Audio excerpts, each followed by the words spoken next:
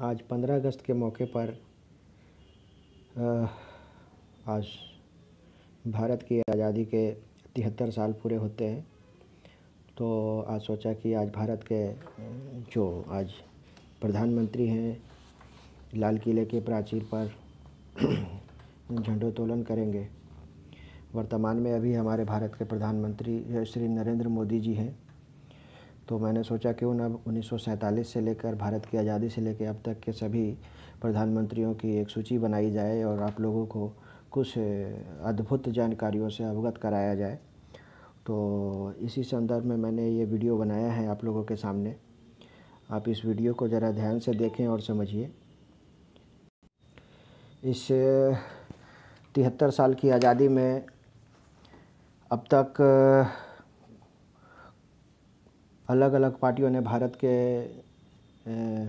प्रधान भारत के प्रधानमंत्री पद पर आसीन हुए हैं।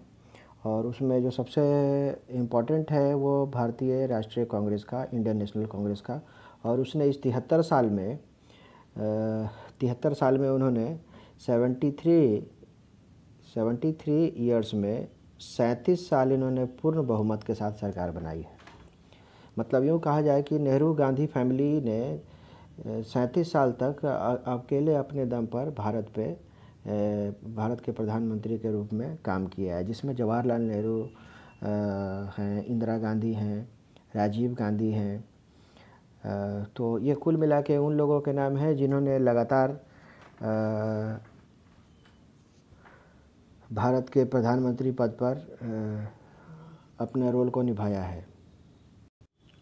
कुल मिला के भारत में अब तक चौदह प्रधानमंत्री बने हैं और एक गुलजारी लाल नंदा को भूलना नहीं चाहिए। शायद वो काफ़ी अनलकी इंसान थे, क्योंकि उनको कार्यवाहक प्रधानमंत्री के रूप में चुना जाता था।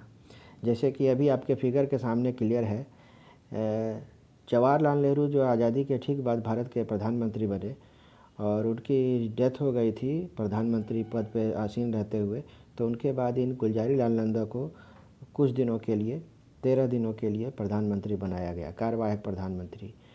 उसके बाद जो चुन कर आए, वो लाल बहादुर शास्त्री आए और लाल बहादुर शास्त्री भी ज़्यादा दिन तक जीवित नहीं रहे। ताशकंद गए थे वो और उनकी रहस्यमय तरीके से मृत्यु हो गई। और उसके बाद पुनः जो है कि ये जो हमारे गुलजारी लाल नंदा हैं, इनको पुनः कार्यवाहक प्रधानमंत्री बनाया गया। लाल बहादुर शास्त्री एक साल सात महीने के लिए रहे और इस दौरान में उन्होंने जो है कि उनका नाम काफ़ी अलग तरीके से लिया जाता है। लोक प्रशासन में उन्होंने काफ़ी काम किया है और भारत का जो यूपीएससी के बच्चे जो तैयारी करके जाते हैं, उन्हीं के नाम पे उस संस्था का नाम भी रखा है, Lal Bahadur Shastri National Academy of Administration. तो ये इम्पोर्टेंट है लाल बहादुर शास्त्री के लिए। गुलजारी लाल नंदा को फिर चूँकि वह मर चुके थे लाल बहादुर शास्त्री तो फिर गुलजारी लाल नंदा को उनका, उनके जगह पर बैठा दिया गया और इलेक्शन फिर से हुए। और इस बार जो आई, इंदिरा गांधी आई और इंदिरा गांधी जवाहरलाल नेहरू की पुत्री थी। तो इन्होंने जो है कि उन्नीस सौ छियासठ में भारत के प्रधानमंत्री के पद पर शपथ ली और ये लगातार उन्नीस सौ छियासठ से लेकर 1977 तक भारत की प्रधानमंत्री बनी रहीं। और इसी दौरान भारत ने जो है आपातकालीन भी देखा है। 1971 में बांग्लादेश की आज़ादी भी देखी है पाकिस्तान से। उन्नीस उन्नीस का जो वॉर था वो भी इन्होंने देखा है। तो कुल मिला के इंदिरा गांधी का कार्यकाल जो 10 साल का वो बहुत ही इम्पोर्टेंट रहा है। और उसके बाद ये मोरारजी देसाई हैं, ये इन्हीं की पार्टी में थे, कांग्रेस के पार्टी सीनियर मोस्ट लीडर थे। तो ये जो है कि जनता पार्टी की सरकार आई उसके बाद। उसके बाद उन्हीं में फिर ये हैं भाई साहब चरण सिंह। जो भारत के पाँचवें प्रधानमंत्री बने चरण सिंह की सरकार भी ज़्यादा दिन नहीं चल पाई 170 दिनों के अंदर इनकी सरकार गिर गई और फिर इंदिरा गांधी फिर से आ गई कब्जे पे तो इंदिरा गांधी इस बार दूसरे बार आई थी और अब इस बार इनका जो मकसद था कि ये इस बार इनकी बॉडीगार्ड्स ने इनकी मृत्यु कर दी, जिनकी इकतीस अक्टूबर उन्नीस सौ चौरासी को इनकी मौत हुई, क्योंकि इसकी भी वजह हो गई थी। इन्होंने ऑपरेशन ब्लू स्टार किया था जिसके तहत उन्होंने अमृतसर के गोल्डन टेंपल में आ, सीधे तोप को लगा दिया था जनरल सिंह भिंडरा वाले को मरवाने के लिए बहुत कुछ किया था इंदिरा गांधी ने। फिर बाद में राजीव गांधी आए हमारे देश के प्रधानमंत्री बन के। इनको सिंपैथी वोट काफ़ी मिला सबसे कम उम्र के प्रधानमंत्री बन के आए उभर कर सामने आए। मात्र चालीस साल की उम्र में ये प्रधानमंत्री बन चुके थे। और उसके बाद इंदिरा गांधी का कार्यकाल पूरा होने के बाद फिर से ये बहुमत में आए उन्नीस सौ पचासी में। भारत में इनको कंप्यूटर युग के दिन इन्हीं का, इन्हीं को माना जाता है। इन्हीं की पार्टी में थे ये विश्वनाथ प्रताप सिंह, जो कि डिफेंस मिनिस्टर से इन्होंने इनका पर्दाफोल कर दिया। बिफोर्स कांड की चर्चा कर दी, जिसकी वजह से राजीव गांधी कटघरे में घिर गए और बीपी सिंह को जो वाहवाही हुई। बीपी सिंह जो है कि भारत के प्रधानमंत्री बनकर आए, ये जनता दल से थे। फिर इसके बाद हम लोग देखते हैं चंद्रशेखर को। और ये चंद्रशेखर जो ऐसे इंसान थे जो कि इनकी छवि बड़ी साफ़ सुथरी थी। सात महीने तक ये प्रधानमंत्री के पद पे रहे। विश्वनाथ प्रताप सिंह के बारे में मैं बताना भूल गया। ये राम जन्मभूमि के, का जो ये केसेस आया था, ये इन्हीं के समय का केसेस है। और इसके बाद हम लोग देखते हैं चंद्रशेखर के बाद इसी समय में इलेक्शन का दौर फिर से स्टार्ट हुआ था और राजीव गांधी को 21 मई उन्नीस सौ इक्यानवे में इनकी हत्या कर दी गई। और फिर ये जो है नरसिम्हा राव भारत के प्रधानमंत्री बने, फिर से कांग्रेस की सरकार आई। इन्होंने अपना पाँच साल पूरा किया किसी तरह से। और उसके बाद ये अटल बिहारी वाजपेयी आए, जिनको कहते हैं तेरह दिन की सरकार बनी, मात्र एक वोट से इनकी सरकार गिर गई थी। और ये क्रम आया, ऐसा बिल्कुल अद्भुत क्रम आया था जिस समय कि पीवी नरसिम्हा के बाद में देश की राजनीतिक स्थिति बिल्कुल सही नहीं थी। अटल बिहारी वाजपेयी तेरह दिन के लिए आए। फिर एच डी देवगौड़ा को भारत का प्रधानमंत्री बनाया गया। ये यूनाइटेड फ्रंट से थे। ये भी जो है, एक साल तीन सौ चौबीस दिन, करीब दो साल करीब एक साल इन्होंने अपना भारत के प्रधानमंत्री पद पर रहे। फिर आई के गुजराल अब ने, आई के गुजराल भी ज़्यादा दिन नहीं, ये भी करीब तीन सौ बत्तीस दिन बोला जाए तो साल भर के लिए। और फिर अटल बिहारी वाजपेयी भारत के दसवें प्रधानमंत्री के रूप में आए। ये तब तक इन्होंने एक साल, सात महीने का कार्यकाल पूरा किया और पुनः जो है कि ये भारत के प्रधानमंत्री बने। और इसके बाद हम लोग देखते हैं कि ये अगले 2004 तक भारत के प्रधानमंत्री बने रहे। अटल बिहारी वाजपेयी के बाद भारत की सरकार थोड़ी स्थिर हुई और उन यूपीए की सरकार बनी। मनमोहन सिंह आए और 2004 से लेकर 2014 तक 2004 से लेकर 2014 तक ये भारत के प्रधानमंत्री रहे।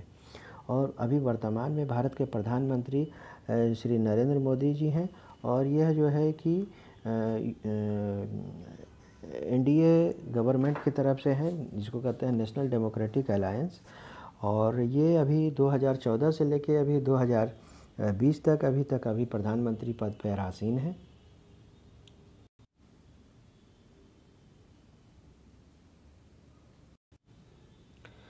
सबसे इंपॉर्टेंट चीज़ जो सीखना है हमें, वह यह जानना है कि जो सबसे, भारत के प्रधानमंत्री जो हैं, वो मरते भी हैं।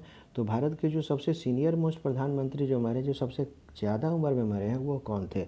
वह मोरारजी देसाई थे, जो निन्यानवे साल इकतालीस दिन के अवधि में इनकी मृत्यु हुई।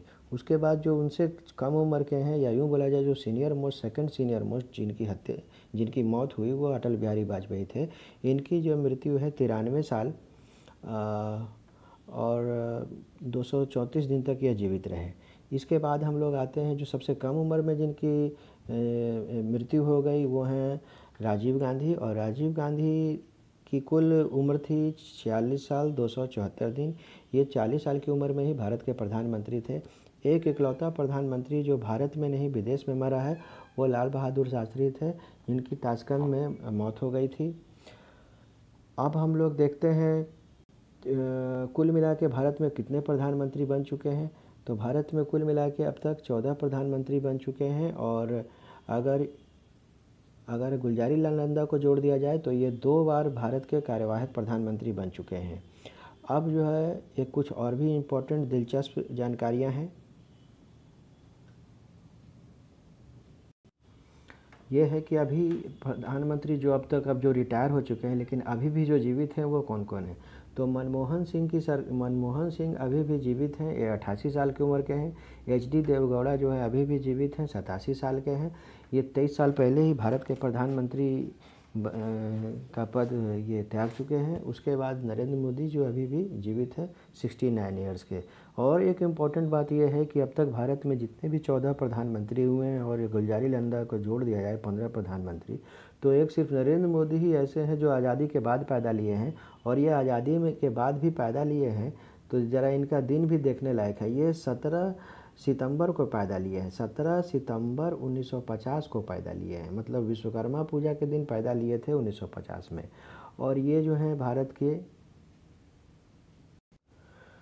ये तिहत्तर साल के तिहत्तर साल अभी भारत की आज़ादी को तिहत्तर साल पूरे हो रहे हैं और तिहत्तर साल में जो सैंतीस साल है, इसको उलट दो तो सैंतीस साल की जो है सिर्फ़ कांग्रेस ने, इंडियन नेशनल कांग्रेस ने ही सैंतीस साल तक यूँ कहा जाए कि जो नेहरू गांधी फैमिली जो है, उन्होंने सैंतीस साल तीन सौ तीन दिन तक सिर्फ़ अकेला, जिसमें जवाहरलाल नेहरू, इंदिरा गांधी और राजीव गांधी शामिल हैं।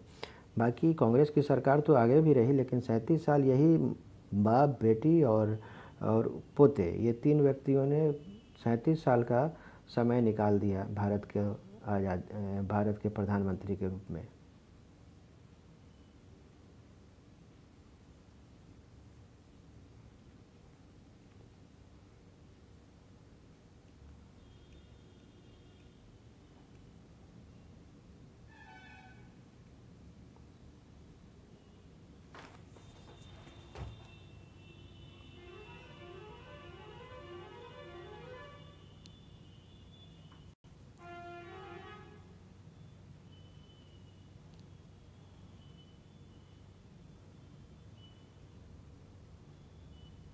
अब इस स्क्रीन को देखिए। यहाँ पे जो तस्वीर के पीछे छिपे हुए हैं, मैं एक मिनट के लिए। ये जवाहरलाल नेहरू हैं और जवाहरलाल नेहरू के बाद जो भारत के प्रधानमंत्री बने कार्यवाहिक प्रधानमंत्री, वो हैं गुलजारी लाल नंदा, जो करीब 10-15 दिनों के लिए बनाए गए थे। कार्यवाहिक प्रधानमंत्री, इनको कोई क्रेडिट दिया ही नहीं गया कभी। उसके बाद जवाहर ये लाल बहादुर शास्त्री बन के आए भारत के प्रधानमंत्री, ये तो मर गए ताशकंद में। इसके बाद फिर से ये आपके गुलजारी लाल नंदा को, क्योंकि कार्यवाहिक प्रधानमंत्री के रूप में और तो कोई मिलता था नहीं गुलजारी लाल नंदा के अलावा। अब इसके बाद आपको देखना है नया चीज़। तो गुलजारी लाल नंदा के बाद अब इस तस, गुलजारी लाल नंदा के बाद अब इस तस्वीर को देखिए। इंदिरा गांधी आई, किसके बाद आई हैं? तो ये गुलजारी लाल नंदा के बाद इनका इलेक्शन हुआ। इंदिरा गांधी बन के आई उन्नीस सौ छियासठ से उन्नीस सौ सतहत्तर तक रही। उसके बाद जो है ये व्यक्ति हैं हमारे मुरारजी देसाई। और मुरारजी देसाई के बाद ये चौधरी चरण सिंह ये डिप्टी प्राइम मिनिस्टर थे उस समय। अब इसके बाद हम लोग देखते हैं आ, सरकार बिल्कुल अस्थिर थी। जनता पार्टी कि ये पार्टी में ये थे मोरारजी देसाई और चौधरी चरण सिंह। उसके बाद इंदिरा गांधी फिर से आई। उन्नीस सौ चौरासी, इकतीस अक्टूबर को इनकी हत्या कर दी गई। इन्हीं के बॉडीगार्ड्स के द्वारा, क्योंकि ऑपरेशन ब्लू स्टार और ये मैंने कहा आपको एंटी सिख राइट्स बोला जाए, ये सब कुछ इन्हीं के कार्यकाल के दौरान हुए थे। राजीव गांधी को सिंपैथी वोट मिला। ये राजीव गांधी सिंपैथी वोट की वजह से इनको भारी बहुमत से ये विजयी हासिल हुए। चौदह साल के चालीस साल की उम्र में ये भारत के प्रधानमंत्री बने। इसके बाद ये व्यक्ति जो है, उसके बगल में जो देख रहे हो आप, ये हैं बीपी सिंह, विश्वनाथ प्रताप सिंह, जो कि इन्हीं का डिफेंस मिनिस्टर थे। बोपोर्स घोटाला में इनका नाम दे दिया। इनका नाम उजागर कर दिया तो भाई साहब इनकी लंका हो गई। और उसके बाद जो है कि ये चंद्रशेखर है। चंद्रशेखर की बिल्कुल साफ़ नीति थी, ज़्यादा कुछ तो कर पाए नहीं क्योंकि सात महीने के लिए थे। इसके बाद ये कांग्रेस की सरकार फिर से निकल के आती है और ये पी वी नरसिम्हा राव भारत के प्रधानमंत्री बनते हैं। पी वी नरसिम्हा राव उन्नीस तक भारत के प्रधानमंत्री रहे। उसके बाद हम लोग देखते हैं अटल बिहारी वाजपेयी। तो अटल बिहारी वाजपेयी भारत के प्रधानमंत्री बनकर आए और ज़्यादा दिन की सरकार नहीं थी, तेरह दिन की सरकार बनी थी। उसमें बिहार के नीतीश कुमार भी समय, इन्हीं के कार्यकाल के दौरान में बिहार के नीतीश कुमार जो है उस समय रेल मंत्री बने। उसके बाद अटल एच डी देवगौड़ा को हम लोग देख लेते हैं। एच डी देवगौड़ा एक साल से भी कम समय के लिए भारत के प्रधानमंत्री रहे आई के गुजराल मतलब एक आ रहा है, एक जा रहा है। इस तरह से भारत का, जैसे अटल बिहारी वाजपेयी तेरह दिन के लिए, फिर ये करीब एक साल के लिए, फिर ये आई के गुजराल एक साल के लिए। उसके बाद फिर से ये बहुमत मिल तो रही नहीं थी। फिर ये जो है भारत के प्रधानमंत्री बन के आए अटल बिहारी वाजपेयी और अटल बिहारी वाजपेयी भारत के प्रधानमंत्री बनकर आए एक लंबे समय के लिए रहे। 2004 में उन्होंने, उन्नीस में पोखरान टेस्ट भी करवाया। और उसके बाद कांग्रेस की सरकार आई और ये अटल बिहारी सॉरी मुख्य मनमोहन सिंह और उसके बाद अभी जो भारत के प्रधानमंत्री हैं ये नरेंद्र मोदी जी हैं और ये पिछला इलेक्शंस भी जीत गए थे मोदी लहर का सब कुछ है अभी।